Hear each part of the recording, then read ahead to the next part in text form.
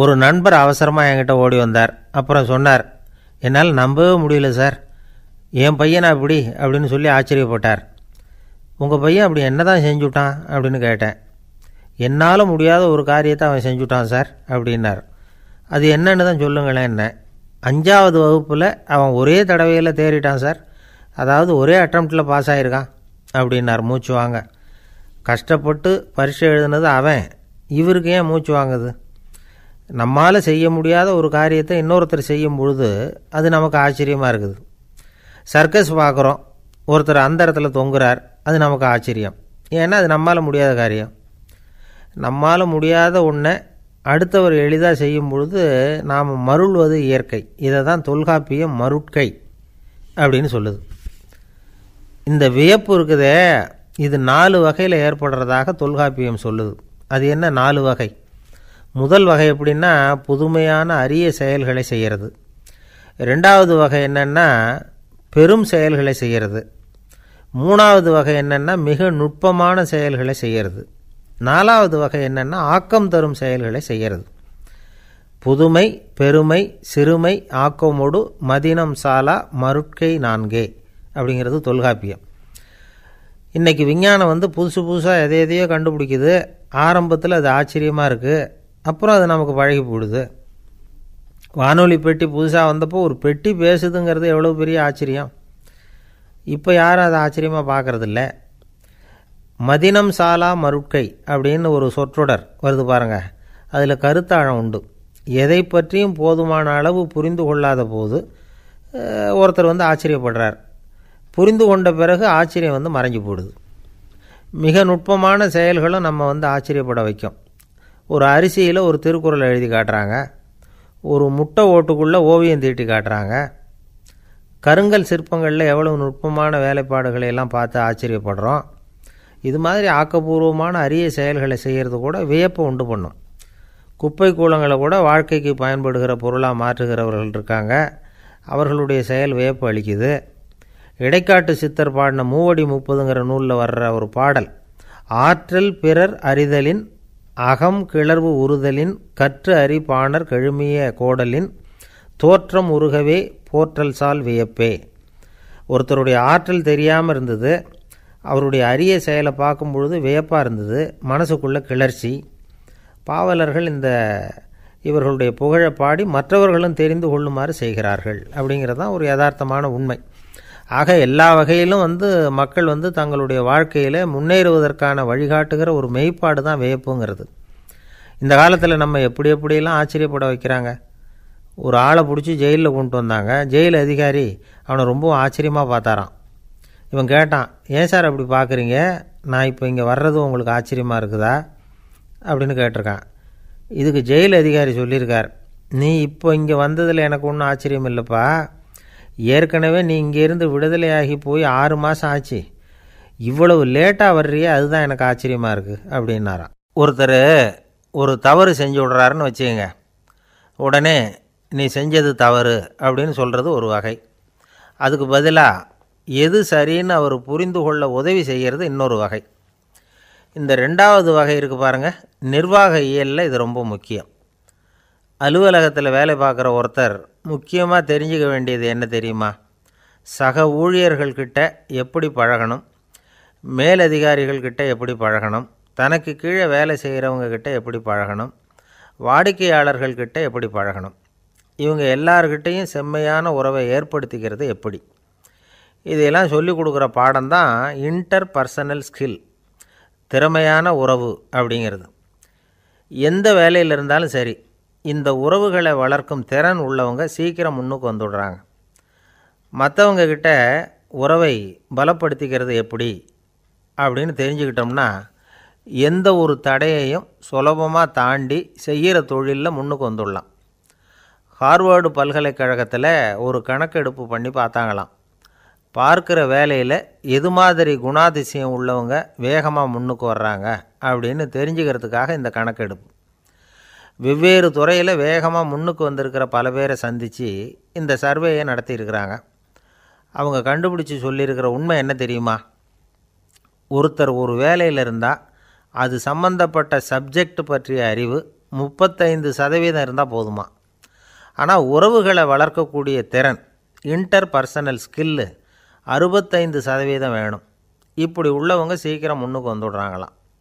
அதனால் ஒருத்தருக்கு வேலை சரியாக புரியலைன்னா கூட விவரமாக மற்றவங்கக்கிட்ட பழகிறது எப்படின்னு புரிஞ்சால் போதும்.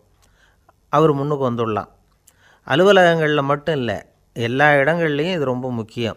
வீட்டுக்குள்ளேயும் இது ரொம்ப முக்கியம். வீட்டுக்கு வெளியேயும் இது முக்கியம்.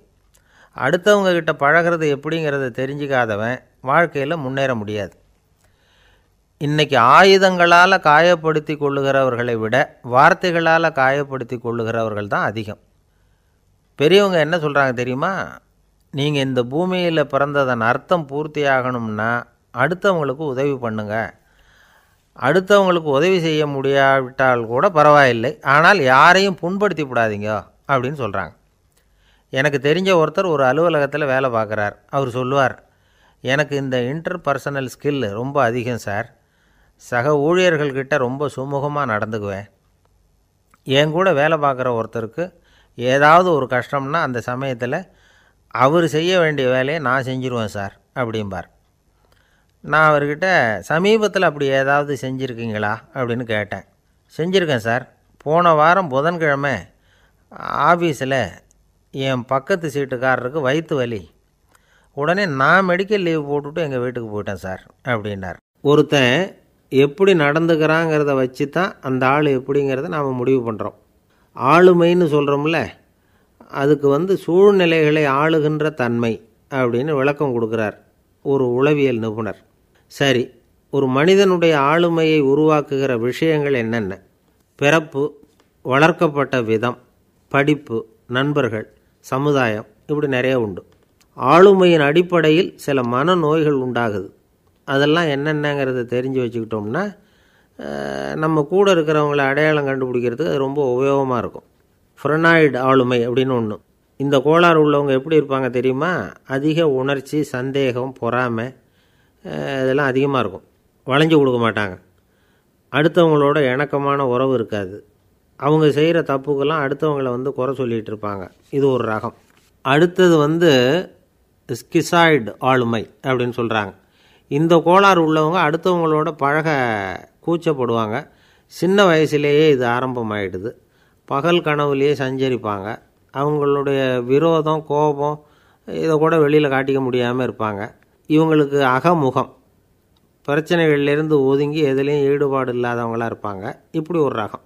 அடுத்தது சைக்ளோதமிக் ஆளுமை அப்படின்னு சொல்கிறாங்க அது என்னென்னா உணர்ச்சிகளில் ஏற்றத்தாழ்வு அதிகமாக இருக்குமா. சில சமயம் பார்த்தா மகிழ்ச்சியாக இருப்பாங்க சில சமயம் சோகமாக உட்காந்துருப்பாங்க அவங்க மனநிலைக்கு தகுந்த மாதிரி சமூக நிகழ்ச்சிகளில் பங்கெடுத்துக்குவாங்க. இன்னொரு வகை என்னென்னா எண்ண பீடிகை ஆளுமை அப்படின்னு பேர் வச்சுருக்கிறாங்க அதுக்கு. இவங்களுக்கெல்லாம் கரெக்டாக இருக்கணும் எல்லாம். சட்டத்திட்டம் இதுலேயும் ஒரு ஒழுங்குமுறை இப்படி எதிர்பார்க்குற மனோபாவம். இவங்க எதிர்பார்ப்புக்கும் வரன்முறைக்கும் மற்றவங்க கட்டுப்படணும்னு நினைப்பாங்க. இந்த நிலைமை நீடித்தா என்ன ஆகும் தெரியுமா? அலைக்கழிக்கிற எண்ணங்கள் திரும்ப திரும்ப ஒரே செயலை செய்ய தூண்டுற மன தளர்ச்சிக்கு ஆளாயிடுறாங்க. அடுத்தது ஹிஸ்டீரியா ஆளுமை. சின்ன விஷயத்தையெல்லாம் பெருசுப்படுத்தி நாடகமாக்குற நடிகர்கள் இவங்க. உணர்ச்சி அதிகம் உள்ளவங்க. இவங்க மன எழுச்சியில் பக்குவமின்மை குழந்தைத்தனம் முதிர்ச்சியின்மை எல்லாம் இருக்கும். தன்னலம் மிக்க குணம். பிறர் வந்து தன்னை மட்டுமே கவனிக்கணும்னு நினச்சி செயல்படுறது. இதெல்லாம் இவங்க அடையாளம். அடுத்த ரகம் எப்படின்னா வளர்ச்சியற்ற ஆளுமைன்னு சொல்கிறாங்க அடுத்தவங்களோட இணங்கி போக முடியாதவங்க அறிவு மன எழுச்சி சமூக உறவு இதில் எல்லாம் போதுமான வளர்ச்சியையும் நிறைவையும் பெற முடியாதவங்க. இவங்களால் வாழ்க்கையில் முன்னேற முடியாது. பிச்சைக்காரங்க குற்றவாளிகள் இவங்ககிட்டெல்லாம் இது மாதிரியான ஆளுமை அதிகமாக இருக்குமா? அடுத்தது என்னென்னா சோறு உடைய ஆளுமை. எதுலேயும் உற்சாகம் இல்லாமல் சோர்ந்து போயிருப்பாங்க. அதுக்கெல்லாம் நமக்கு வலிமை இல்லைப்பா அப்படின்னு சொல்லிகிட்டு இருப்பாங்க. சின்ன விஷயங்களுக்கெல்லாம் அதிர்ச்சி அடையிறது. வாழ்வின் சுவையை வந்து அனுபவிக்க முடியாதவங்க. இன்னொரு ரகம் இது வந்து கொதித்தெழும் ஆளுமைங்கிறாங்க. எதுக்கு எடுத்தாலும் ஆத்திரம் குரோதம் வன் செயல் இதிலெல்லாம் ஈடுபாடு. இப்படி உள்ளவங்க. நத்தை வகை ஆளுமை அப்படின்னு ஒன்று அடுத்தவங்க மேலே விரோதம் இருக்கும் அடிக்கணுங்கிற எண்ணம் இருக்கும். ஆனால் அதை அப்படியே வெளியில் காட்டாமல் அதே சமயம் அமைதியான முறையில் வெறுப்பை வெளிக்காட்டுற ரகம். இவங்கெல்லாம் பேசாமல் கம்முன்னு இருந்துக்கிட்டே நினச்சதை நிறைவேற்றிக்கிடுவாங்க முன்ஜாக்கிரதை ஆளுமை அப்படின்னு ஒரு ரகமாக பாதுகாப்பின்மை சந்தேகம் முழுமையின்மை அறவேக்காட்டுத்தனம் இந்த மனப்போக்கு அதிகமாக இருக்கிறதுனால அகம்பாவம் புடிவாதம் எச்சரிக்கை எல்லாம் அளவுக்கு மீறி இருக்கும். இது வரைக்கும் நாம் பேசிக்கிட்டு இருந்த ஆளுமை பண்புகள் வந்து அளவுக்கு அதிகமாக போயிட்டுதுன்னா ஆளுமை கோளாறுகள் ஏற்படும்.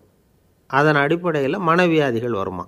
அதனால் இணக்கமான எல்லாரும் விரும்புகிற இயல்பான ஆளுமையை பெறுவதற்கு நாம் முயற்சி செய்யணும் அப்படிங்கிறது மனோதத்துவ நிபுணர்களுடைய ஆலோசனை. ஒருத்தர் ஒரு மனோதத்துவ டாக்டரை தேடிட்டு வந்தாராம். டாக்டர் எனக்கு மனசில் ஏதோ வியாதி. ஆளுமை கோளாறு. அதாவது எனக்கு சீக்கிரமாக செத்து போனால் தேவையில்லைன்னு தோணுது அப்படின்னாராம். உடனே அந்த டாக்டர் சரி அப்படின்னா இங்கே இருங்க நான் வைத்தியம் பார்க்குறேன் அப்படின்னாராம். ஒரு ஊரில் ஒரு ராஜா இருந்தார். பெரிய அரண்மனையில் தான் இருக்கிறார். எல்லா வசதியும் இருந்தது. இருந்தாலும் அவர் எல்லாரும் சொல்கிறது எப்படி தெரியுமா? பிச்சைக்கார ராஜா. அப்படி ஒரு பேர் அவருக்கு நிலச்சி போச்சு. ஜனங்களும் சரி மற்ற தேசங்களில் உள்ளவங்களும் சரி அவர் அந்த பேர் சொல்லியே குறிப்பிடுறது வழக்கமாக போட்டுது. இது அவருக்கு ரொம்ப கவலையாக போச்சு. என்ன இது? நம்மளை தேடி வர்றவங்களுக்கெல்லாம் நாம் சோறு போடுறோம். நம்ம புகழ்ந்து பாடல் ஏற்றி கொண்டு வர்ற புலவர்களுக்கெல்லாம் அவங்க எப்படி வந்தாலும் ஒருவேளை சோறு போடணுங்கிறது உத்தரவு. இவ்வளவுலாம் செஞ்சும் நம்மளை போய் பிச்சைக்கார ராஜான்னு எல்லாரும் சொல்கிறாங்களே அது ஏன்? எதுக்காக இப்படி சொல்கிறாங்க இதுதான் ராஜாவுக்கு குழப்பம். சரி இதை பற்றி நம்ம அமைச்சர்கள்கிட்ட கேட்கலாமா அப்படின்னு யோசனை பண்ணார். இந்த விஷயத்தை போய் அவங்கக்கிட்ட எப்படி கேட்குறதுன்னு அவருக்கு தயக்கமாக இருந்தது. கௌரவ குறைச்சலாக தெரிஞ்சுது அவருக்கு. சரி சாதாரண குடிமக்கள்கிட்ட இதை பற்றி கேட்கலாமா அப்படின்னு யோசனை பண்ணார். கேட்கலாம். ஆனால் அவங்க யாரும் ராஜா முன்னாடி வந்து நின்று தைரியமாக பேசக்கூடிய அளவுக்கு இல்லை. ராஜாவோட குழப்பம் நாளுக்கு நாள் அதிகமாக போச்சு. கடைசியாக அவர் ஒரு முடிவுக்கு வந்தார். அதாவது இதை பற்றி ஒரு பிச்சைக்காரங்கிட்டே கேட்டு பார்த்துட்டா என்ன? இதுதான் அவர் பண்ண முடிவு. உடனே மாறு வேஷம் போட்டுக்கிட்டு நகர்வலம் போனார். ஒரு பிச்சைக்காரனை கண்டுபிடிச்சார். இதை பாருப்பா நம்ம ராஜாவை எல்லாரும் பிச்சைக்கார ராஜான்னே சொல்கிறாங்களே அதுக்கு என்ன காரணமாக இருக்கும் அப்படின்னு கேட்டார். அதுக்கு அவன் சொல்கிறான் இதுக்கான பதிலை இன்னும் ஒரு முப்பது நாளில் சொல்கிறேன் அப்படின்னா. உடனே இவருக்கு சந்தோஷம். உண்மையை அவங்ககிட்ட சொன்னார் நான் வேறு யாரும் இல்லை நான் தான் இந்த நாட்டு ராஜா. இப்போ நீ என் கூடவே வந்துடும் அரண்மனையிலேயே தங்கிக்கோ. முப்பது நாள் கழித்து எனக்கு பதில் சொல்லிவிட்டு அதுக்கப்புறமா நீ போகலாம் அப்படின்னு சொல்லி அழைச்சிட்டு வந்துட்டார். அரண்மனையில் ஒரு மூலையில் அவன் தங்கறதுக்கு இடம் கொடுத்தார். தினம் ரெண்டு வேளையும் இவனுக்கு சோறு போடுங்க அப்படின்னு உத்தரவு போட்டார். ராஜா கொடுத்த இடத்துல போய் உக்காந்துக்கிட்டான் அந்த பிச்சைக்காரன். தினமும் அந்த அரண்மனையில் நடக்கிறதையெல்லாம் கவனிச்சிக்கிட்டு வந்தான். வேளா வேலைக்கு சாப்பாடு வரும் சாப்பிட்டுக்கிட்டு இருக்கான். இப்படி முப்பது நாள் முடிஞ்சுது. ராஜா வந்தார். என்ன என்னோட கேள்விக்கு பதில் என்னன்னு கண்டுபிடிச்சிட்டியான்னார். கண்டுபிடிச்சிட்டேன்னா. என்ன எல்லாரும் பிச்சைக்கார ராஜான்னு சொல்கிறாங்களே அது நியாயமாக படுதா உனக்குன்னு கேட்டார். நியாயமாக தான் படுது. சந்தேகம் இல்லாமல் நீங்கள் பிச்சைக்கார ராஜா தான் என்ன தான் நீங்கள் வசதியோடவும் படைபலத்தோடவும் இருந்தால் கூட நீங்கள் வந்து எங்கள் வர்க்கத்தை சேர்ந்த ஆசாமி தான் அப்படின்னு அடித்து சொல்லிவிட்டான் அந்த ஆள். ஏனால் அப்படி சொல்கிறேன்னு கேட்டார் இவர். அரசே ஒரு உண்மையை கண்டுபிடிச்சி சொல்கிறதா நான் உங்ககிட்ட சொன்னேன். நீங்கள் ராஜ பரம்பரைன்னா உடனே உங்கள் கழுத்தில் கிடக்கிற முத்து மாலையை கழட்டி பரிசாக கொடுத்துருப்பீங்க. பொண்ணையும் மணியையும் கொடுத்துருப்பீங்க. ஆனால் நீங்கள் அப்படி செய்யலை. என்னை ஒரு மூலையில் உட்கார வச்சு ரெண்டு வேளை சோறு போட சொன்னீங்க. உங்களை தேடி யார் வந்தாலும் யார் வந்து பாராட்டி பேசினாலும் அல்லது பிரச்சனைகளை சொன்னாலும் நீங்கள் செய்கிற ஒரே காரியம் சோறு போடுறது தான் பிச்சைக்காரனுக்கு சோறு மட்டும்தான் உலகம். உங்கள் விஷயத்துலேயும் நீங்கள் அப்படி தான் நினைக்கிறதாக தெரியுது. நல்லா கவனிங்க. எந்த ஒரு பிரச்சனைக்கும் சோறு தான் முடிவுன்னு நினைக்கிறீங்க பாருங்கள் நீங்கள் சந்தேகமில்லாத எங்களை சேர்ந்த ஆள் தான் அப்படின்னு விட்டான் அந்த பிச்சைக்காரன். அதுக்கப்புறம் தான் அந்த ராஜா தன்னுடைய தவறுகளை எல்லாம் திருத்திக்கிட்டாராம். பசின்னு வர்றவங்களுக்கு சோறு தான் போடணும். அது தப்பு இல்லை. பாராட்ட வர்றவங்களுக்கெல்லாம் சோத்தையே போட்டு அனுப்புனா இப்படி தான் பேர் வரும். எனக்கு தெரிஞ்ச ஒருத்தர் தினமும் யாராவது ஒருத்தரை தன் வீட்டுக்கு அழைச்சிட்டு போவார் சாப்பாடு போட்டு அனுப்புவார். முன்னறிவிப்பு இல்லாமல் திடீர்னு ஒரு விருந்தாளியோட வீட்டில் போய் இவர் நிற்கிறது வழக்கம். அந்த அம்மாவும் இவருக்காக தயார் பண்ணி வச்சுருந்ததை இவர் அழைச்சிட்டு வந்திருக்கிற விருந்தாளிக்கு போட்டுருவாங்க. விருந்தாளி சாப்பிட்டுட்டு போனதுக்கப்புறம் இவர் மனைவிகிட்ட உனக்கு சிரமம் வேணாம் அப்படின்னு சொல்லிவிட்டு பக்கத்தில் உள்ள ஒரு ஹோட்டலுக்கு போய் காசு கொடுத்து சாப்பிட்டுட்டு வந்துடுவார் பல நாள் இப்படி நடக்கும். ஒரு நாள் அவரை தனியாக கூப்பிட்டுக்கிட்டு போய் ஏன் இப்படி பண்ணுறீங்கன்னு கேட்டோம் அதுக்கு அவர் சொல்கிறாரு எங்கள் வீட்டு சாப்பாட்டிலேருந்து தப்பிக்கிறதுக்கு எனக்கு வேறு வழி எதுவும் தெரியல சார். அதனால தான் இப்படி பண்ணிகிட்ருக்கிறேன் அப்படின்னார். ரொம்ப பரிதாபமாக ஒரு மனுஷனுக்கு மூணு விதத்தில் கர்வம் உண்டாகிறதுக்கு வாய்ப்பு உண்டு. பணம் பதவி புகழ். பணம் அதிகமாக வந்தால் கர்வம் வரலாம். பதவி பெருசாக வந்துட்டுதுன்னா கர்வம் வரலாம். புகழ் அதிகமாக போனாலும் கர்வம் வரலாம். இந்த மூணு வகையான கர்வத்துக்கும் இடம் கொடுக்காம இருக்கிறாங்க பாருங்கள் அவங்க தான் சிறந்த மனிதர்கள். ஒரு பெரிய பொறுப்பில் இருக்கிறவங்களுக்கு கர்வம் வந்துடக்கூடாது. அப்படி வந்துட்டுதுன்னா அது எல்லாருக்கும் இடைஞ்சல். ஒரு ராஜா இருந்தார். அவர் ஒரு நாள் தன்னுடைய தலைநகரத்தை சுற்றி வந்துக்கிட்டு இருந்தார். ஒரு இடத்துல ஒரு அழகான நிலத்தை பார்த்தார். ஆஹா இந்த இடத்துல நமக்குன்னு ஒரு மாளிகையை கட்டினா எவ்வளோ நல்லாயிருக்கும் அப்படின்னு நினச்சார். ராஜா நினச்சா அது முடியாத காரியமா? சரி இந்த நிலம் யாருக்கு சொந்தம்னு விசாரிங்க அப்படின்னார் பக்கத்தில் இருந்தவங்கக்கிட்ட அவங்கெல்லாம் ஓடி போய் விசாரித்தாங்க அந்த இடம் வந்து ஒரு வயசான கிழவிக்கு சொந்தம் வயசான அம்மாவுக்கு சொந்தமாக அந்த அம்மா தான் அதில் ஒரு குடிசையை போட்டு குடியிருந்துகிட்டு இருக்கிறாங்க. சரி அந்த நிலத்துக்கு வந்து ஒரு விலையை நிர்ணயம் பண்ணி அதை அந்த வயசான அம்மாக்கிட்ட கொடுத்துருங்கோ அப்படின்னு உத்தரவு போட்டார் ராஜா. ஆனால் அந்த அம்மா இது எங்கள் பூர்வீக இடம் இதை விற்க மாட்டேன் அப்படின்னு சொல்லிவிட்டுது. சரி ரெண்டு பங்கு விலை கொடுக்குறோம்னு சொல்லி பாருங்க அப்படின்னாங்க.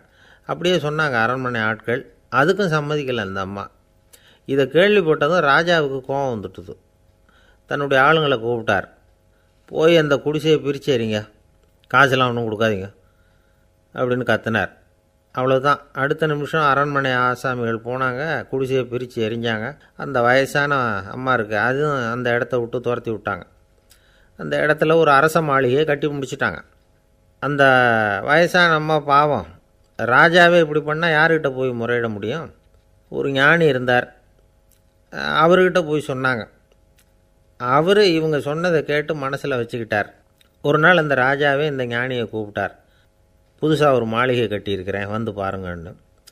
சரின்னு சொல்லி இந்த பெரியவர் ஒரு நாள் இந்த மாளிகைக்கு போனார். சும்மா போகல ஒரு கழுதையையும் ஓட்டிகிட்டு போனார். கொஞ்சம் சாக்குகள் வெத்து சாக்கு. அதையும் எடுத்து கழுதை முதுகில் போட்டு கழுதையை ஓட்டிகிட்டு போகிறார் ராஜா பார்த்தார் அவருக்கு இது ஆச்சரியமாக இருந்தது. என்ன இது மாளிகைக்கு வந்துட்டு போங்கன்னு கூப்பிட்டா கழுதை சாக்கு இதெல்லாம் கூப்பிட்டு வராரு? ஒன்றும் புரியலையேன்னு நினச்சார். எதுக்காக இதெல்லாம்னு கேட்டார்? அரசருடைய தோட்டத்திலேருந்து கொஞ்சம் மண் எடுத்துகிட்டு போகிறதுக்கு ஆசைப்பட்றேன். அதுக்கு நீங்கள் அனுமதி கொடுக்கணும் அப்படின்னாரு இவர். இது என்ன வேடிக்கையான கோரிக்கையாக இருக்குது? அப்படின்னு நினச்சார் ராஜா. இருந்தாலும் மண்ணு தானே கேட்குறாரு எடுத்துகிட்டு போட்டுமே அப்படின்னு நினச்சார். சரின்னு அனுமதி கொடுத்தார். அந்த பெரியவர் தோட்டத்துக்கு போனார். மண்ணை வெட்டினார் சாக்கில் போட்டு நிரப்புனார். ராஜாவை கொஞ்சம் கிட்ட வாங்கன்னு கூப்பிட்டார். இந்த மண் மூட்டையை தூக்கி கழுதையோட முதுகில் வைக்கணும் கொஞ்சம் உதவி பண்ணுங்கன்னார்.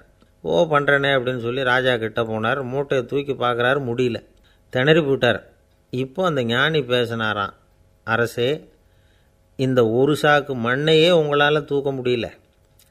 அந்த கிழவிகிட்ட இருந்து அந்த அக்கிரமமாக அபகரித்த இந்த தோட்டம் பூராவையும் சுமக்கணும்னு ஆசைப்படுறீங்களே அது உங்களால் முடியுமா? அப்படின்னு கேட்டாராம்.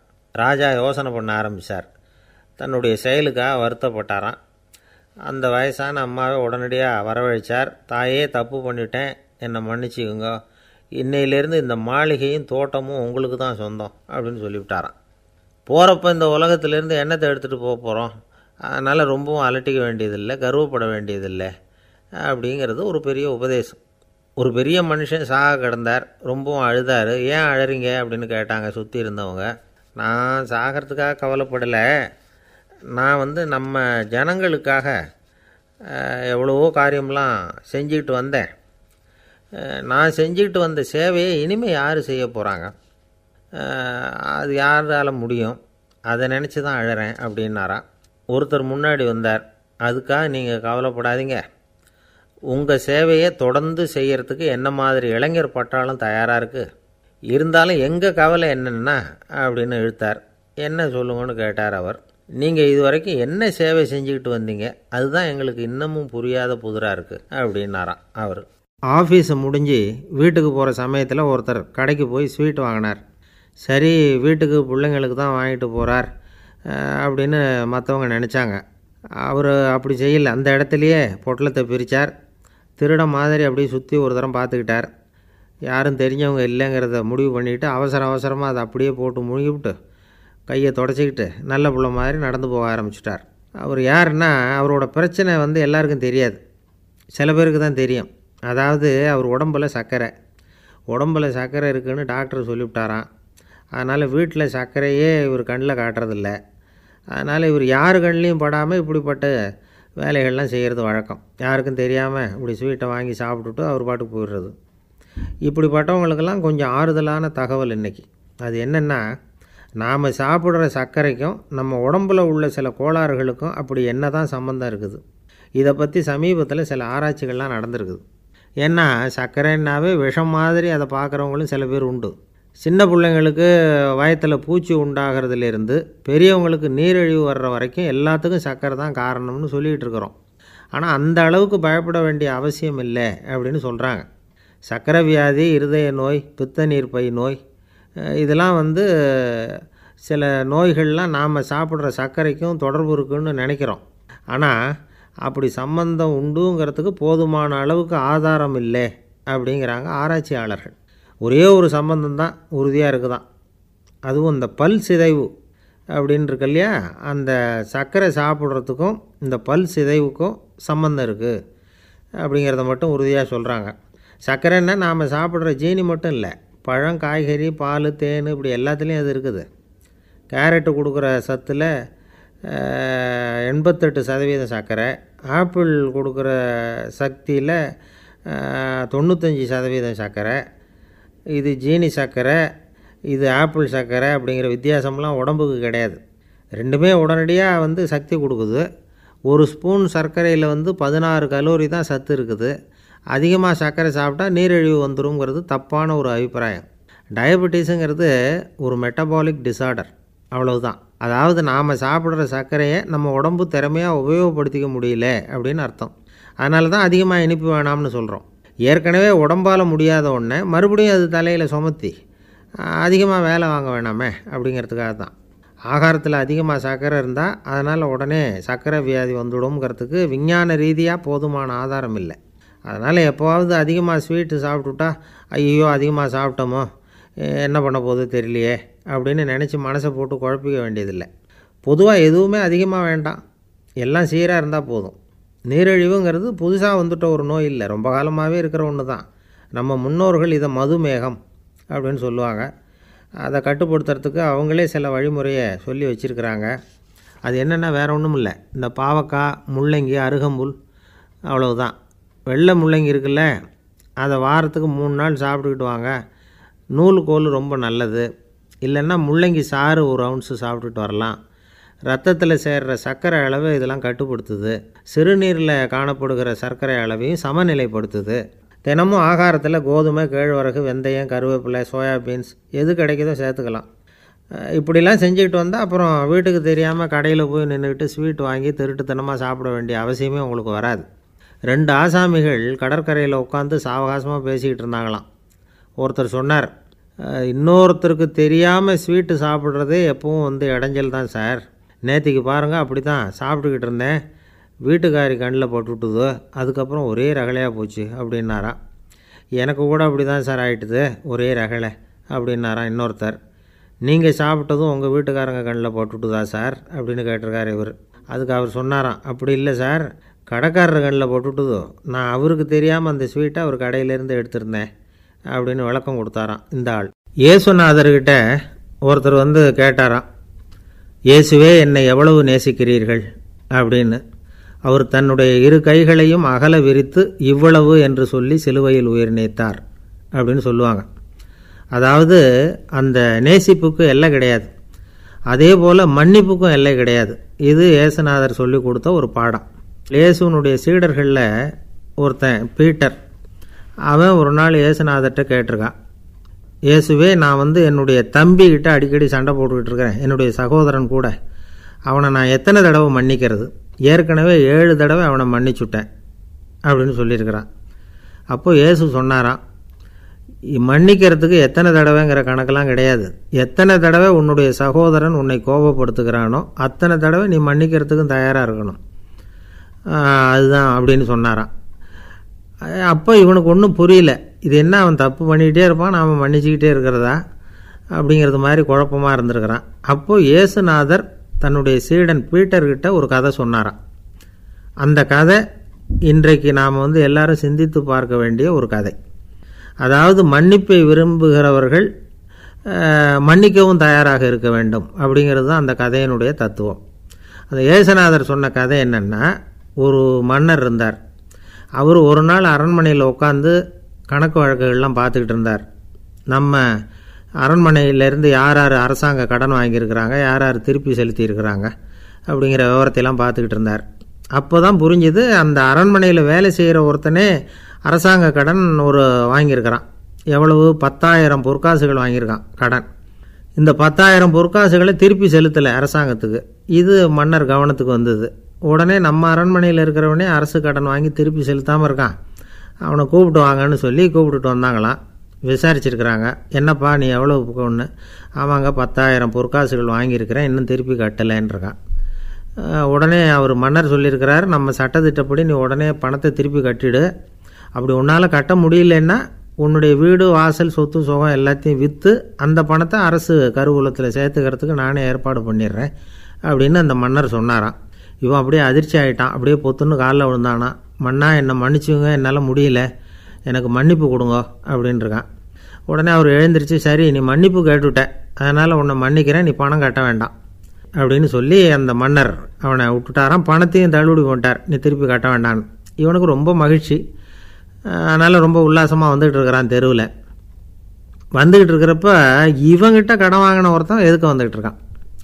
அவன் இவங்கிட்ட ஒரு நூறு பொற்காசுகள் கடன் வாங்கியிருக்கான். அவன் வந்தான். இவன் போய் அவன் சாட்டையாக பிடிச்சிக்கிட்டான். நீ எப்படா என் கடனை திருப்பி கொடுக்க போகிறேன்னு அவன் இப்போ முடியல. கொஞ்சம் பொறுத்துக்கா. அப்புறம் தரேன் இருக்கான். அதெல்லாம் முடியாது நீ கொடுத்து தான் ஆகணும்.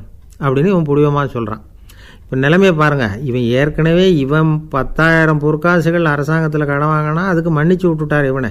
ஆனால் இவன் இன்னொருத்தனை மன்னிக்கிறதுக்கு தயாராக இல்லை. இவங்கிட்ட கடன் வாங்கின இன்னொருத்தன் பத்து பொற்காசுகள். அவனை மன்னிக்க தயாராக இல்லை. இந்த காலத்து புள்ள ஒருத்தன் தன்னோட அப்பாவை பார்த்து சொன்னான் அப்பா நான் உனக்கு உதவி செய்யலாம்னு நினைக்கிறேன். என்ன உதவி செய்யணும்னு சொல்லு அப்படின்னா நீ சும்மா இருந்தால் அதுவே எனக்கு செய்கிற பெரிய உதவிடா அப்படின்னார் அப்பா.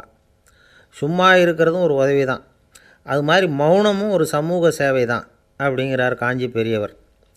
நமக்கு வந்து ஐந்து புலன்கள் இருக்குது மெய் வாய் கண் மூக்கு செவி இந்த அஞ்சுலேயும் அதிகப்படியான வேலை எதுக்குன்னு நினைக்கிறீங்க? வாய்க்கு தான். ஏன்னா அதுக்கு ரெண்டு வேலை. இப்போ கண்ணுக்கு பார்க்குறது மட்டும்தான் வேலை. காதுக்கு கேட்குறது மட்டும்தான் வேலை. மூக்குக்கு வாசனை அறியறது தான் வேலை. உடம்புக்கு உணர்றது மட்டும்தான் வேலை. ஆனால் வாய் அப்படி இல்லை. அதுக்கு ரெண்டு வேலை. சாப்பிட்றதும் அதுதான் பேசுகிறதும் அதுதான். அதாவது வாய் ஒன்று தான் கர்மேந்திரியமாகவும் இருக்குது ஞானேந்திரியமாகவும் இருக்குது. அப்படின்னு சொல்லுவாங்க. சாப்பாட்டில் உட்காந்தா எந்தெந்த ஆகாரம் என்னென்ன ருசின்னு அறிவிக்கிற வேலையும் செய்யுது. சபையில் உட்காந்தா பாடுறது பேசுறது சிரிக்கிறது இது மாதிரியான வேலையும் செய்யுது. இன்னொரு வித்தியாசம் கண்ணு காது மூக்கெல்லாம் ஸ்ட்ரெயின் பண்ணிக்கிட்டு வேலை செய்கிறதில்ல ஒரு ரோஜா பூ பார்த்தா உடனே மூளை மூக்கு அப்படியும் இப்படியும் அசைய ஆரம்பிக்கிறதில்ல. ஒரு சங்கீதத்தை கேட்ட உடனே காது ஆட ஆரம்பிக்காது. ஆனால் வாய் அப்படி இல்லை. அது பேசினாலும் சரி சாப்பிட்டாலும் சரி அசைஞ்சு தான் ஆகணும். ஆக மற்றதை விட வாய்க்கு வேலை ஜாஸ்தின்னு தெரியுது. சாப்பிட்றது பேசுறது அப்படின்னு ரெண்டு காரியம் அதுக்கு இப்படி ரெண்டு காரியம் இருக்கிறதுனால அது ரெண்டையும் பாதியாக குறைச்சிக்கணுங்கிறது கடவுள் அபிப்பிராயமாக இருக்கணும் அப்படிங்கிறார் காஞ்சி பெரியவர். ஆனால் இப்போ நாம் அப்படியே நடந்துக்கிறோம்? அதுக்கு நேர்மாறாக நடந்துக்கிறோம். நாம் சாப்பிட்றதும் அதிகம் பேசுகிறதும் அதிகம். ரெண்டு வேலையையும் தேவைக்கு அதிகமாகவே செய்கிறோம் வாய் தான் ரொம்ப ஓவர் ஒர்க்குடு அதுக்கு ஓய்வு கொடுத்தா உடம்பும் நல்லாயிருக்கும் உலகமும் நல்லாயிருக்கும் மௌன விரதம் இருக்கிறதெல்லாம் எதுக்காக நினைக்கிறீங்க? இதுக்காக தான். இந்த காலத்தில் மௌனமாக இருக்கிறவங்கெல்லாம் மகத்தான தொண்டு செய்கிறாங்க அப்படின்னு தான் சொல்லணும். சத்தம் அதிகமாக போய் தான் சவுண்டு பொல்யூஷன் வருது. அது மட்டும் இல்லை மௌனமாக இருந்தால் சண்டை சச்சரவே வராது. மௌனம் கலக நாஸ்தி. ஆக இதுவும் ஒரு சமூக சேவை தான். நமக்கு தான் வாய் இருக்குதேங்கிறதுக்காக வசமாக சாப்பிட்றதும் தப்பு வளவளன்னு பேசுகிறதும் தப்பு. ஒரு கருத்தை சொல்கிறதுக்கு ஒரே ஒரு சொல்லு போதும் அப்படின்னு இருக்கும்பொழுது ரெண்டு சொற்களை செலவு பண்ணாதே. எவ்வளவு சொன்னாலும் அதனால் ஒரு பயனும் விளையாது அப்படின்னு தெரிய வருமேயானால் அந்த ஒரு சொல்லையும் விரயம் பண்ணாதே அப்படிங்கிறார் ஒரு அறிஞர். எல்லா குணங்கள்லேயும் மௌனம்தான் சிறந்தது அப்படிங்கிறார் ஒருத்தர். மௌனமாக இருக்கிறது மூலமாக மற்றவர்கள் குறைகளை வந்து நம்மால் தெரிஞ்சிக்க முடியும். அதே சமயத்தில் நம்மக்கிட்ட இருக்கிற குறைகளை மற்றவங்களுக்கு தெரியாமல் மறைச்சிக்கவும் முடியுங்கிறார் அவர். உண்மை உண்மைதானே? ஒரு பெரிய மேடை பேச்சாளர் பொது வாழ்க்கையில் இருபத்தஞ்சி வருஷ காலமாக ஈடுபட்டிருக்கிறவர். அவர் மனைவி ஒரு நாள் சொன்னாங்க எங்கள் வீட்டுக்காரர் இருபத்தஞ்சி வருஷ காலமாக பொது வாழ்வில் ஈடுபட்டிருந்தா கூட இந்த மாதம் பத்தாந்தேதியிலிருந்து தான் மக்களுக்கு சேவை செய்ய ஆரம்பிச்சிருக்கார் அப்படின்னு நாங்கள் ரொம்ப பெருமையாக பத்தாம் தேதிக்கு அப்படி என்ன விசேஷம்? அப்படின்னு கேட்டோம். அன்னையிலேருந்து தான் அவர் மேடையில் பேசுகிறத நிறுத்தினார் அப்படின்னாங்க அந்த அம்மா.